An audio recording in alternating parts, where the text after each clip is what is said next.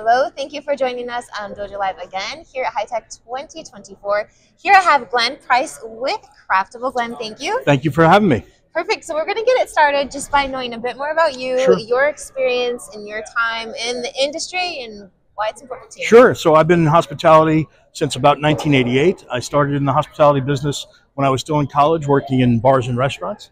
I stayed with that for 20 plus years. Um, when I started to have a family, though, I realized that that was not the best lifestyle for me to have. Uh, so I switched over to hospitality technology sales. I've been doing that for about 20 years, um, and I love it. I love hospitality technology sales.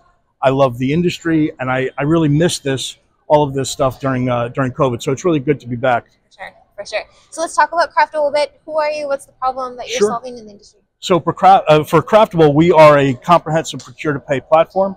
Everything that you buy to the point that everything that you sell and everything in the middle is stuff that we would touch. So the way to procure product, uh, your AP reconciliation is automated with Craftable, as is your invoice reconciliation. Of course, we have inventory for both food and beverage and non-food and beverage items. So all that wraps up into a back of the house platform that you'll find to be um, very much leaning itself towards automation, which is one of our big buzzwords, frankly. Okay, automation, there's one. Uh, Some other buzzwords that I'm hearing a lot are Gen AI, of course, Sure. cloud, data. Are those three, are you prioritizing those? We- or we- is there something else for We, you? we hear it a lot, and we're certainly using AI in, in the platform. Craftable is a cloud-based system, but we really concentrate on profitability as well as the automation that the platform gives you. So, you know, from a profitability standpoint, it's great that you're running good numbers, but let's identify those numbers and see where we can identify actual versus theoretical and narrow that gap. So automation does that quite a bit. Uh, and then the other thing that we, again, pay a lot of attention to is profitability. Uh, so we'll help you get more profitable, hopefully, and squeeze a few more dollars out of your bottom line.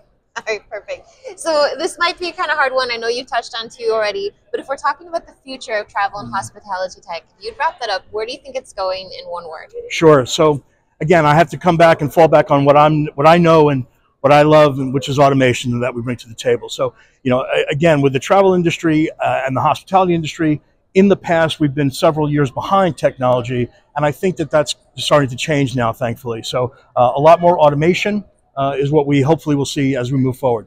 All right, perfect.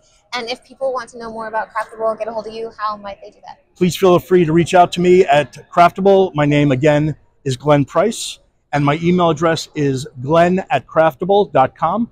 Glenn is spelled with two N's, so again, it's glenn at craftable.com. Perfect. Well, thank you so much and have a great HITEC Thanks, Kimberly. 2024. Thanks for having me. You're welcome.